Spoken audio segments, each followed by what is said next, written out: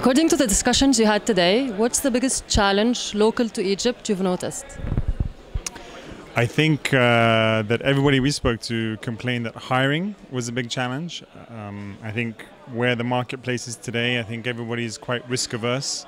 Um, so leaving a job to join a startup uh, seemed to be a recurring theme in the sessions that we had.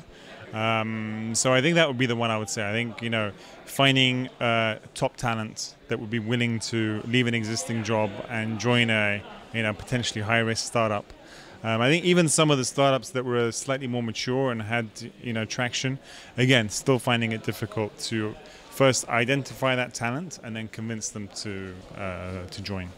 Yeah, I think the biggest thing is not just finding talent or talented people, but being able to create teamwork within the group.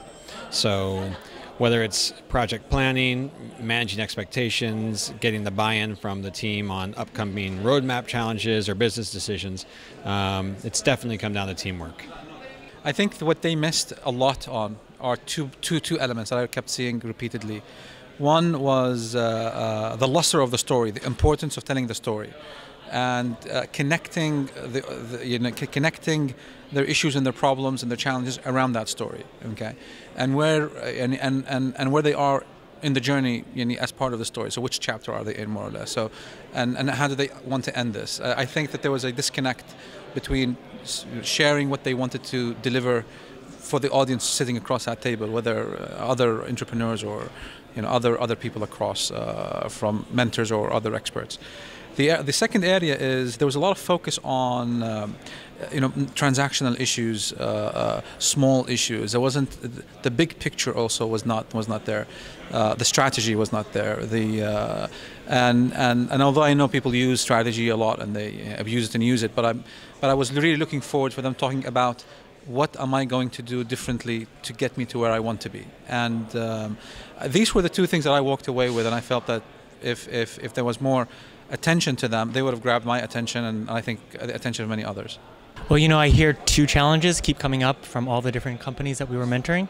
One, I think the early stage investor ecosystem still needs a lot of experience. So, how do I understand a startup? How do I value it? How do I work with entrepreneurs? I think there's a lot of challenges. So, we really need more experienced entrepreneurs to get engaged with the ecosystem and invest and help grow those companies. Because I think the experienced entrepreneurs make the best early stage investors.